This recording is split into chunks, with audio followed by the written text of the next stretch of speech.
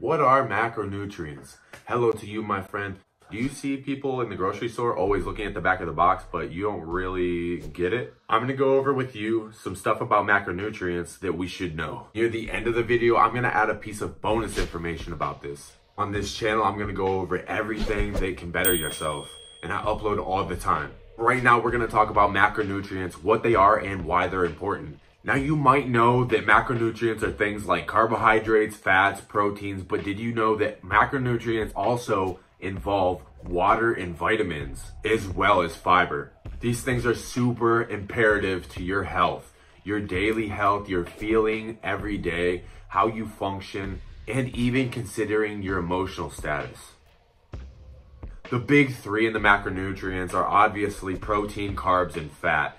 And usually the average person should probably have a split of around 50% carbohydrates, 25% protein, and 25% fat. And that's okay if you work out, and that's okay if you don't work out. This will keep you right around that range. And whatever works best for you, you can feel out the process a little bit later as you get more intricate with it. Wherever your calories are really coming from should be right around that range. We'll talk about fats first. Saturated fats are good for you and you need them, but we don't need them in excess. Moderation is the key to saturated fats. You probably want to stay about under 20 grams of saturated fat for the day each day. Going over that is extremely easy, especially if you eat at these awesome tasting places like Waffle House and Taco Bell and McDonald's. I love these places, I know you do too, but they are loaded with saturated fat in all of the things on their items list. Saturated fat is important but in moderation. Moderation is the key to a lot of this. The good fats that we do want are the PUFAs, polyunsaturated fats. These are things like omega-3, 6, and 9s. Mono and polyunsaturated fats are incredibly important. Now, while you might not see these on the back of your box all the time, it might not show you these mono and polyunsaturated fats on the back of your box of whatever it is that you want to eat, but you can know that they're there by seeing the total fat on the back of the box and seeing what is given. So if there's 20 grams of total fat and there's no trans fat and there's 10 grams of saturated fat, that means there's 10 grams of fat that's coming from other locations and those locations are the poly and monounsaturated fats. Now you may not know where it's coming specifically from mono and poly, but it is coming from mono and or poly. And both of these things are good for you. These are good fats. That's kind of the gist of fat and we're gonna move on to carbohydrates. Carbohydrates are super important for a lot of things. Your brain function, you need glucose to run your brain nice and smooth. We don't skip breakfast. So when we look at the back of the box and we see the carbohydrates, we see a couple of things. First, we see how many carbohydrates are actually in each serving that we're looking at. This is important because if you set your goal to 50% of your caloric intake and your calorie intake is 2,000 calories, then 1,000 calories of what you eat are coming from carbohydrates during your day. So if 1,000 calories are coming from carbohydrates and this thing has 10 grams of carbohydrates in it, we know that every gram of carbohydrates has four calories with it.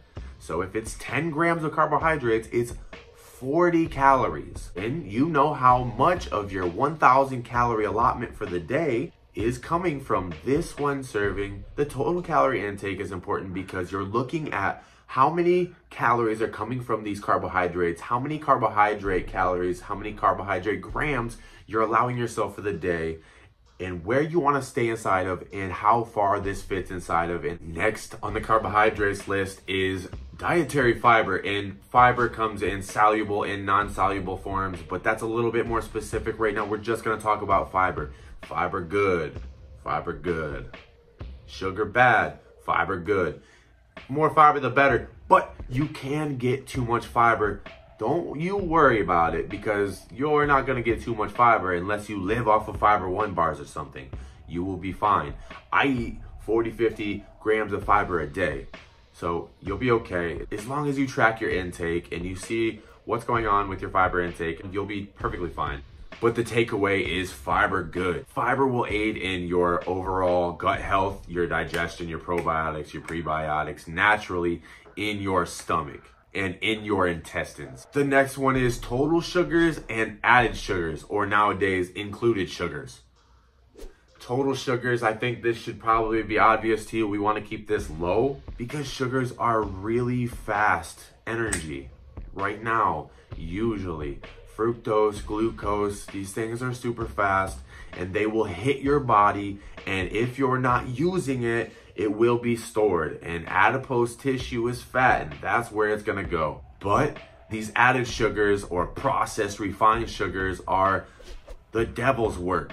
We don't want this in our lives. Keep it as low as possible. And the AHA, the American Heart Association recommendation is to keep this one under 10 grams a day. And often you can easily surpass that with one serving of processed food nowadays. Try to keep this included sugar down as low as possible. And then the last one for the big three that we're gonna talk about is protein.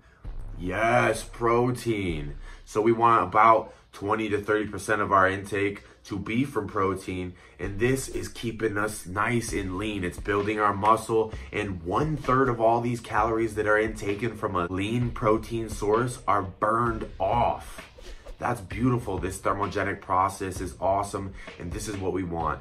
This lean protein will help us stay lean the more protein, the better. It doesn't really get super specific here. Just track where these calories are incoming. I think water is important to go over just for a second. And I think you should get around a gallon of water a day. You may or may not have heard this, but let's count this as a macronutrient. Water is a nutrient. It's the most important nutrient in your body, actually.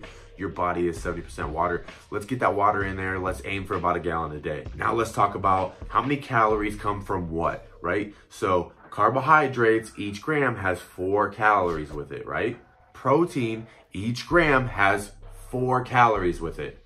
But fat, fat has nine calories with it. So fats are calorie dense, and that's why you hear that word all the time, calorie dense. And that's why these foods that you eat are calorie dense as well. These bags of chips, these hamburgers from McDonald's, whatever it is that you're eating that is packed full of fat and saturated fat at that, that's why it's got so many calories. And that's why really a big reason why it'll make you fat is because it is so calorie dense. And also things like peanuts, you know, legumes and seeds and stuff like that might be high in fat as well. But those are a little bit different. Things that are high in fat are going to be high in calories. These things are calorie dense. They'll add to your calories. And if you're trying to keep your calories under 2,500 or 2,000 calories a day or whatever recommendation you have set for yourself, you will have a more difficult time keeping under that goal with high fat foods. That's why we want to keep it around 25% of our intake. You can say what you want about it, micronutrient, macronutrient. I call it a macronutrient, especially nowadays, because everything we eat is packed with sodium. Sodium, everything. Look, do me a favor and just go Google real quick after this video how much sodium is in your favorite thing that you eat. You'll be blown away. And especially you'll be blown away after you hear that the AHA, the American Heart Association recommendation is to be 1500 milligrams or less per day intake of sodium. And this that I'm looking at right now that I used for this video, one serving is one container. One package has 1300 milligrams of sodium in it that already is almost your entire daily intake of sodium just in that one package of noodles. If you want to eat that one package of noodles and then eat apples for the rest of the day and water, I guess you'll be fine. But it gets worse.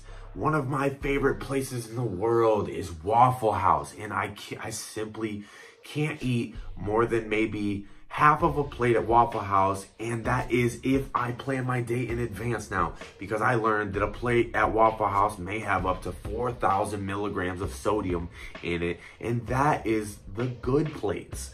The bad plates can be even worse.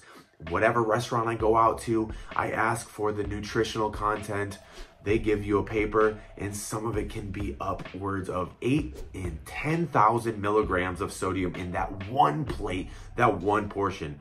This is wild, right? We're talking almost 10 times as much sodium as you're supposed to intake in the whole day, right there in that one meal that they want you to eat. And yeah, it tastes good, but that's one of the reasons why it tastes good. It's super bad for you. And I know that you knew that, but now you know a little bit more why. You may read these things and you may think, okay, this is good for me, right? This is good. You may hold up to your face a whole box of Pop Tarts and say, I can eat this box of Pop Tarts and I'll be fine. Well, Doc 'Murica didn't tell you that. Doc 'Murica is going to tell you that look at the servings because one Pop Tart might be a serving. And if you eat that whole box, you might be eating eight Pop Tarts and then you just ate eight times more than you thought you were going to. So how many servings is in whatever you're eating? So like I said, for this, for this example, this whole container happens to be a serving, right? And that's cool because everything in this is part of everything that you read here. So everything that we went over, you know that you're just going to get that or a roundabout. All of that is one serving because that one whole package is one serving. Make sure you know how many servings it is. Look at your protein, your fat, your carbohydrates, where those things are coming from, your fiber, your water, your sodium. Take care of all those things in your nutrition. Since you're still here, I know that you're smart. You're definitely smart and you're smarter than me even though I'm wearing fake glasses right now. You're doing good things for yourself. And I'm proud to have you as part of Team Human.